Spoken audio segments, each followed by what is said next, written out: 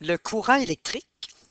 Le courant électrique, c'est en fait euh, simplement une quantité de charge électrique qui va circuler dans un circuit électrique euh, et qui va passer euh, à travers de composants dans un circuit électrique. Et ces charges électriques-là, en fait, ce sont des charges élémentaires, ce sont tout simplement les électrons. Donc, ils vont circuler dans le circuit pour un temps donné. On se rappelle de la variable du courant. Alors, le courant électrique, on l'avait représenté euh, lorsqu'on a étudié le magnétisme avec la lettre I. Donc, euh, le grand I est plus utilisé pour les formules mathématiques. Le petit i était utilisé pour euh, les champs magnétiques, etc. Son unité, c'est le ampère. L'abréviation de ampère, c'est le grand A, un peu comme par exemple la masse. Son unité, c'est le gramme et l'abréviation, c'est G, petit g pour la masse. Donc, pour le courant, c'est le ampère, tout simplement.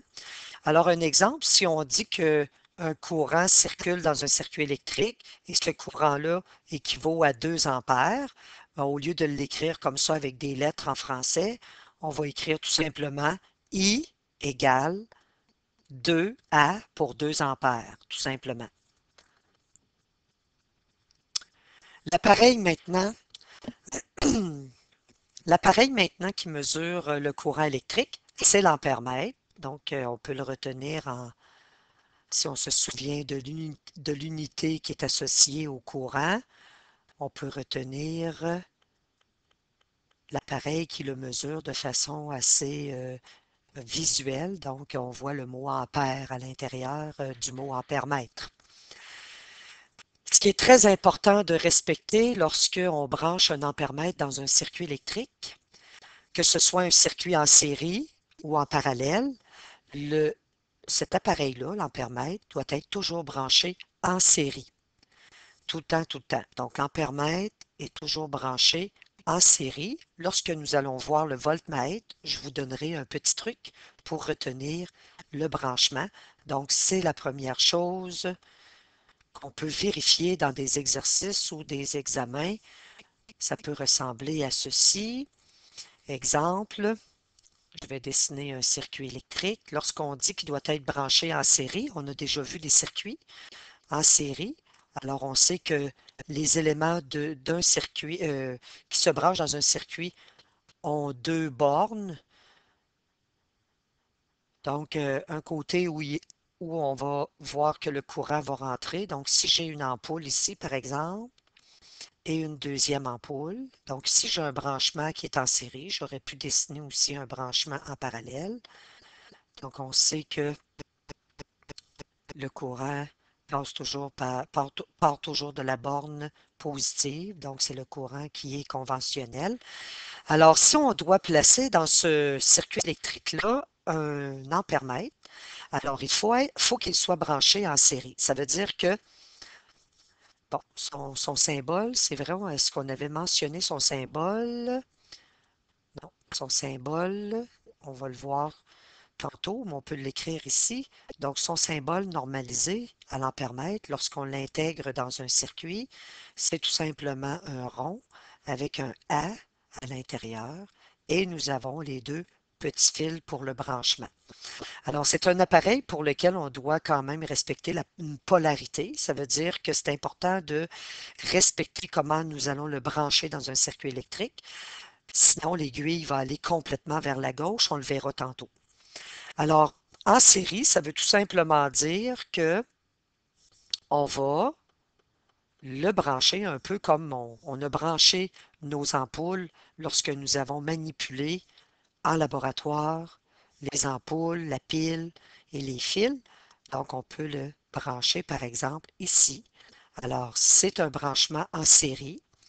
Il a un fil branché avec la pile et il a un autre fil branché avec une ampoule. Donc, c'est ça le branché en série. Donc, si vous avez un autre circuit, par exemple, deux ampoules qui sont branchées en parallèle, c'est pas parce que vous avez un circuit en parallèle qu'on n'a pas le droit de brancher un ampèremètre. L'ampèremètre, doit être branché en série. C'est ce que ça dit. Ça ne dit pas de le brancher dans un circuit en série. Alors ici, si j'ai par exemple un branchement et je veux, à une position quelconque du circuit, mesurer l'intensité du courant, alors ce qu'on peut faire tout simplement, c'est de l'intégrer en le branchant en série. Ça veut dire qu'il a un de ses fils qui est branché avec un élément du circuit, ici c'est tout simplement la pile, et un autre fil qui est complètement avec des éléments ou un élément qui sont différents. Donc ici, c'est branché avec les deux ampoules qui sont en parallèle. Donc c'est de cette façon que l'ampèremètre doit être branché en série. On aurait pu aussi, sur ce, sur, euh, ce circuit, on aurait pu l'installer à plusieurs positions, en fait, mais toujours en respectant de le brancher en série. Donc, voici un bon branchement. On pourrait aussi le brancher euh, entre les deux, les deux ampoules. Donc, c'est aussi un autre bon branchement. Si c'est un mauvais branchement, on peut donner un exemple. On a vu les circuits qui étaient les circuits en, parallèle. Alors, si je fais, par exemple, un circuit en série, donc les deux ampoules sont branchées une à la suite de l'autre, comme ça. On a vu que les circuits en parallèle, c'est que les éléments donc les fils d'un même élément sont branchés, comme on peut le voir ici. Ça, c'est deux ampoules qui sont branchées en parallèle. Donc, euh, les fils d'un même élément, donc de cette ampoule, sont branchés avec les fils, les deux fils d'un autre même élément. Donc, euh, c'est un branchement parallèle. Alors, ce qui est mauvais, c'est par exemple, si on branche l'ampèremètre de cette façon, donc avec des fils, on le place par exemple ici. On voit bien que ces deux petits fils vont être branchés avec les deux mêmes petits fils d'un même élément. Donc, c'est du parallèle. Alors, à ce moment-là, il y a un problème, risque de briser l'ampèremètre. Donc, c'est un mauvais branchement. On ne fait pas ça. Donc, il faut toujours qu'il soit branché en série et non en parallèle dans un circuit électrique. Avant d'aller voir euh, comment euh, lire euh, le courant sur un ampèremètre, juste avant, lorsqu'on a défini tantôt l'ampèremètre, pas l'ampèremètre, mais le courant électrique comme étant une quantité de charge qui passe par unité de temps, on va le visualiser ici, on va le représenter en fait lorsque nous avons un élément de circuit. Alors, par exemple, un fil électrique. Lorsqu'un courant passe à l'intérieur, on sait que c'est un flux d'électrons donc des électrons qui passent à l'intérieur. Mais c'est dans l'infiniment petit, c'est quand même une très, très grande quantité qui va passer. Et ça ici, c'est pour vous donner un exemple. Alors, le courant, c'est une quantité de charge. Le Q, la lettre Q, veut tout simplement dire quantité de charge qui passe dans un circuit, dans un élément de circuit, dans un composant de circuit, par unité de temps, et le temps est en secondes. Donc, quantité de charge divisée par le temps, c'est-à-dire une quantité de charge par seconde, par exemple. Donc, une quantité de charge élémentaire, ce sont des électrons. Pour euh, exprimer la quantité de charge, elle est exprimée euh, en coulombes. C'est une unité de mesure, c'est un, nombre finalement, un peu comme la mole qu'on a vu en chimie qui était de 6 par 10 à la 23, mais le coulombe, lui, sa valeur, c'est de 6,25 par 10 à la 18 électrons. Comme exemple, si vous avez un courant de 1 ampère, vous allez avoir un coulombe d'électrons par seconde qui vont circuler, c'est-à-dire une quantité de charge élémentaire ou d'électrons qui, qui va correspondre à 6,25 par 10 à la 18 électrons qui vont passer en une seconde. Alors, ça fait beaucoup, beaucoup de charge. Les petits électrons vont circuler dans le fil, dans le, dans le circuit électrique, peu importe, mais ce sera un paquet pour un ampère, c'est un paquet qui correspond à 6,25 par 10 à la 18 électrons. Et ça, ça passe en une seconde. Donc ça, c'était une notion, la notion mathématique là, du courant. Ensuite, la lecture de l'ampèremètre. Alors, son symbole, tantôt, nous l'avons dessiné. On va le dessiner de nouveau ici. C'est tout simplement un rond. On fait les deux fils pour pouvoir le brancher. Et on a la lettre A pour ampèremètre. Alors ici, il faut toujours respecter une polarité pour euh, cet appareil. que, veut dire la polarité pour un appareil? Ça veut dire qu'il faut tenir compte de la manière dont nous le branchons. Par exemple, euh, il faut que il a des bornes, on va les visualiser tantôt. Donc, les bornes positives qui sont rouges, il faut que le courant entre dans le bon sens dans cet appareil, sinon l'aiguille va aller à l'extrême gauche, on va aller le visualiser dans quelques secondes. Donc, il faut respecter la polarité pour cet appareil, sinon l'aiguille va se déplacer vers la gauche et non vers la droite. Euh, lorsque vous avez branché des ampoules en laboratoire, on n'a pas respecté la polarité parce que les ampoules, les petites ampoules que vous avez utilisées, euh, on n'avait pas besoin de respecter la polarité, c'est-à-dire le sens du courant n'avait aucune espèce d'importance. Les ampoules allumaient, même si on branchait euh, le fil rouge euh, de l'ampoule avec euh, le fil noir de la pile, ça dérangeait pas du tout. Par contre, il y a, certaines, il y a certains composants dans un circuit comme les LED, il faut faire attention, il faut respecter une certaine polarité.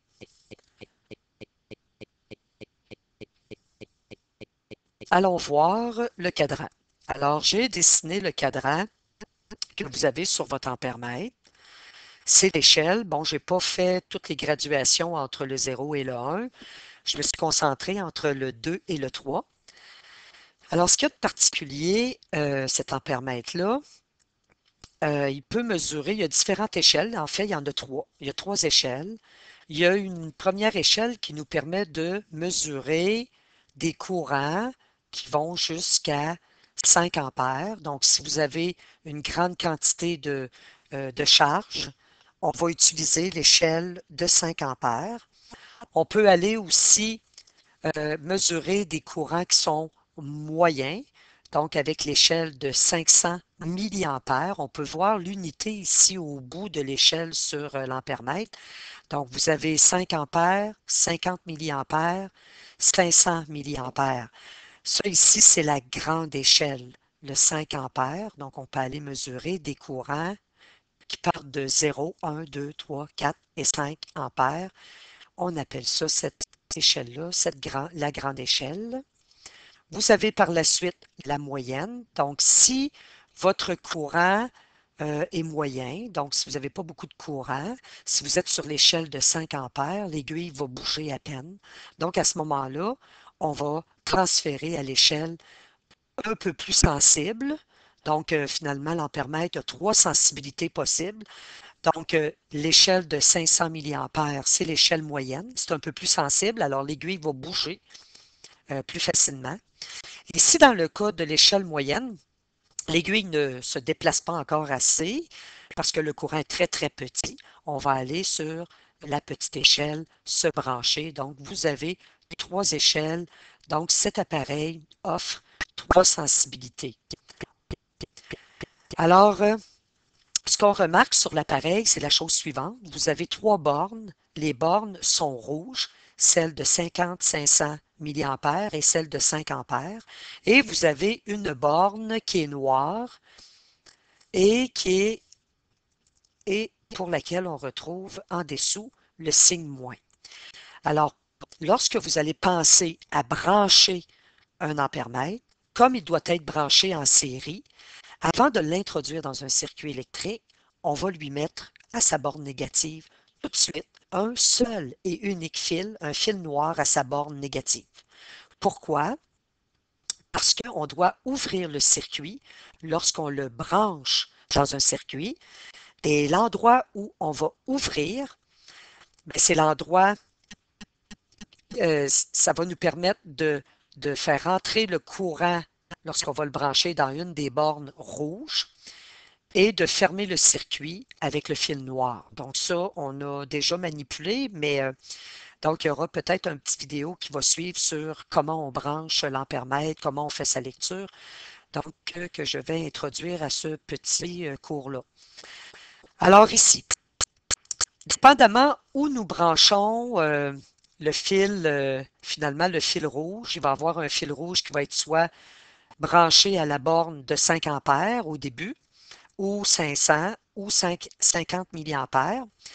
Donc, euh, dépendamment où se situe notre fil rouge qui permet au courant d'entrer. Donc ici, le courant va vraiment, faut qu'il faut faut s'assurer que le courant rentre par une borne rouge tout le temps. Parce que sinon, l'aiguille va aller à l'extrême gauche et ce qui peut se produire finalement, c'est qu'on décalibre l'appareil.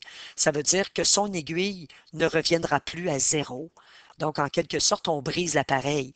À l'inverse aussi, lorsqu'on va utiliser une échelle trop petite pour un gros courant, l'aiguille va aller complètement à l'extrême droite et ça, c'est pas favorable pour l'appareil parce qu'on le décalibre. Donc, souvent, il ne revient pas à zéro. C'est un peu l'analogie qu'on peut faire, c'est euh, votre pèse-personne que vous avez à la maison ou euh, votre balance. On ne peut pas peser un éléphant avec ça.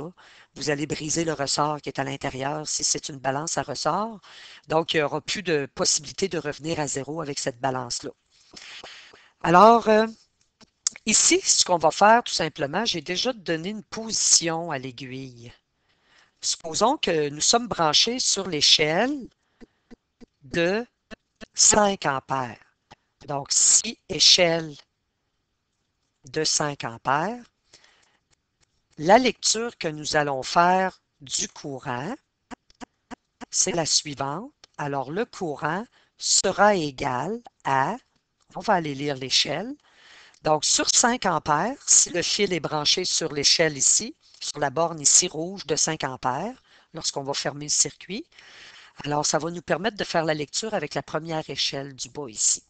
Alors, c'est un courant qui va se situer entre 2 et 3 ampères. Comme l'aiguille dépasse la moitié, on peut regarder chacun des intervalles. Finalement, il y en a 10 pour se rendre à 3. Donc, vous avez 2.1 ici, 2.2, 2.3, 2.4, 2.5, 2.6 et 2.7. Nous aurons directement un courant de 2,7 ampères si l'ampèremètre est branché sur la borne de 5 ampères. Si cette borne-là n'est pas assez sensible et que vous avez décidé de changer d'échelle pour un circuit électrique donné et que l'aiguille arrive à la position indiquée, alors ce ne sera pas la même lecture que vous allez faire. Donc, si nous sommes sur l'échelle de 500 milliampères, 500 milliampères, ça veut dire quoi?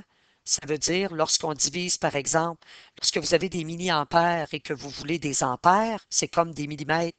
Lorsqu'on veut des mètres, on divise par 1000.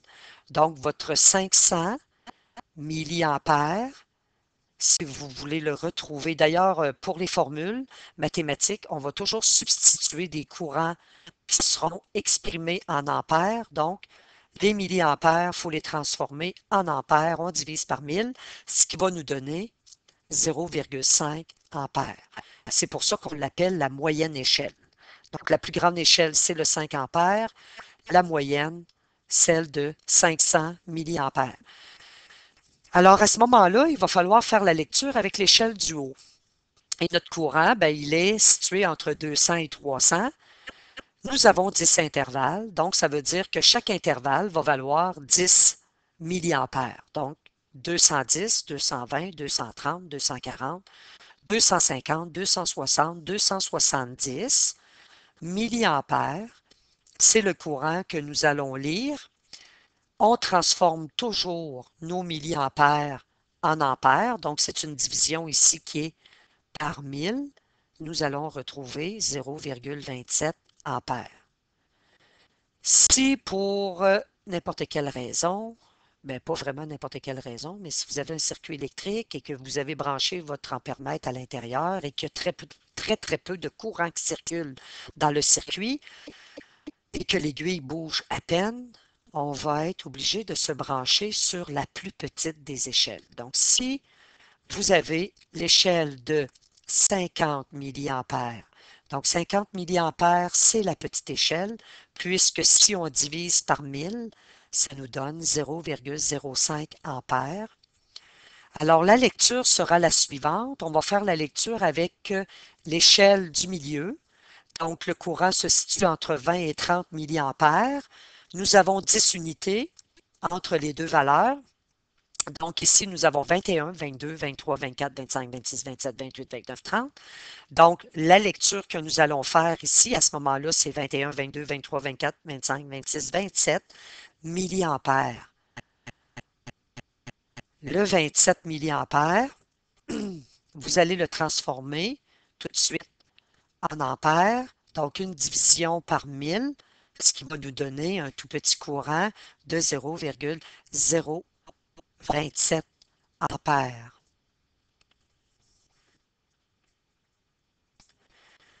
Alors, avant d'intégrer l'ampèremètre, un petit, euh, un petit résumé dans un circuit électrique, il faut toujours se rappeler qu'il doit être branché en série.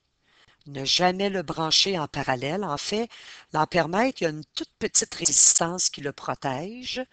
Donc, l'ampèremètre, c'est un peu comme un compteur, c'est un peu comme un tourniquet qu'on retrouve dans certains magasins qui va, qui va compter finalement le nombre de clients qui rentrent dans un magasin. Alors, on n'offre pas de résistance aux clients, bien entendu. La même chose, l'ampèremètre compte les charges qui passent par unité de temps.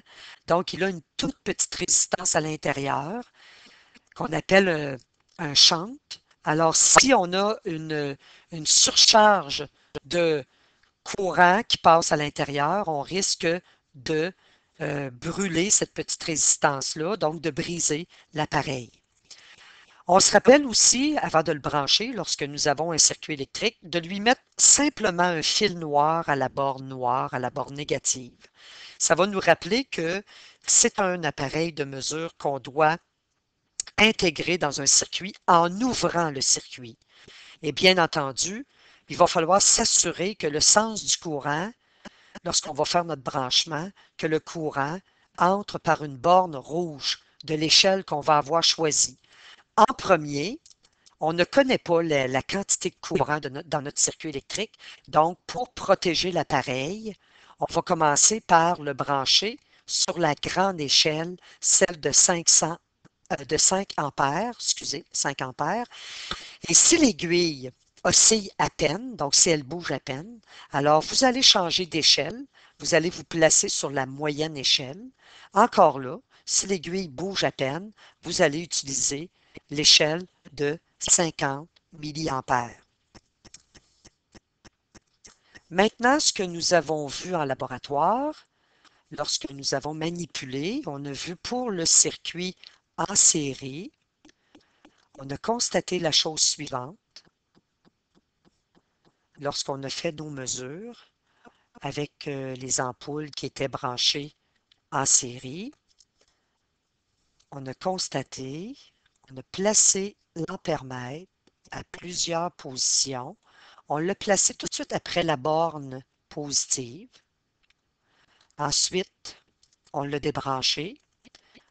Nous l'avons placé entre les deux ampoules nous avons mesuré le courant qui passait. Donc, c'était des positions A1, A2. Nous avons par la suite débranché de nouveau l'ampèremètre.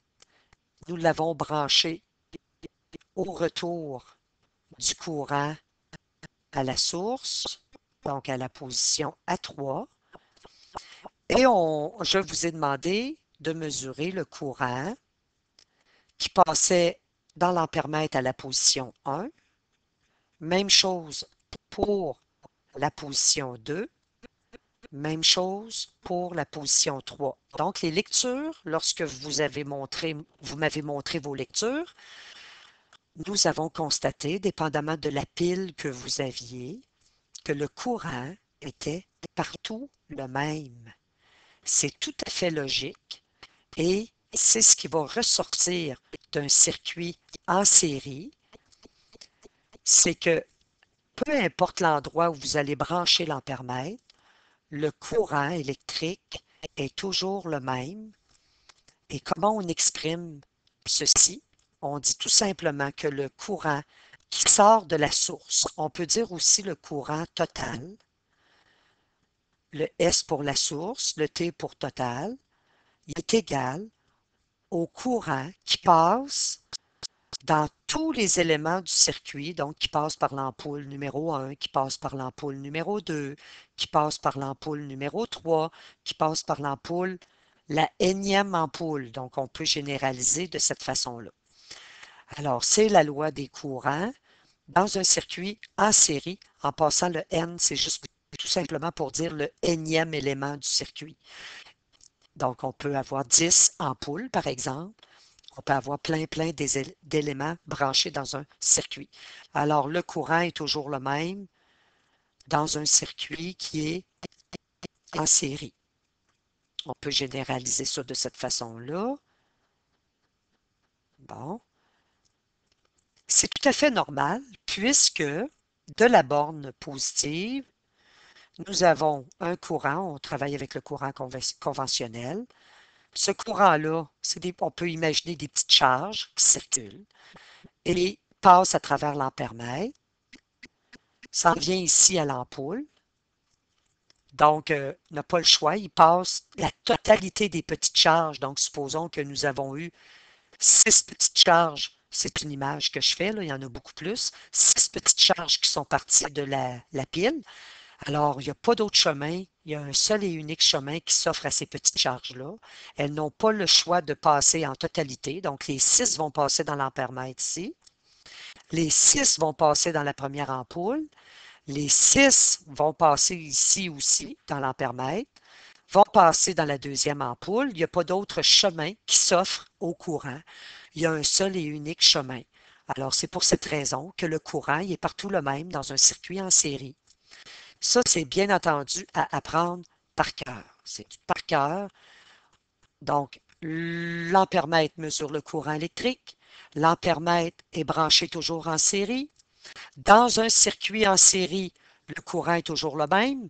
En laboratoire, nous allons aller vérifier le courant, le comportement du courant dans un circuit en parallèle.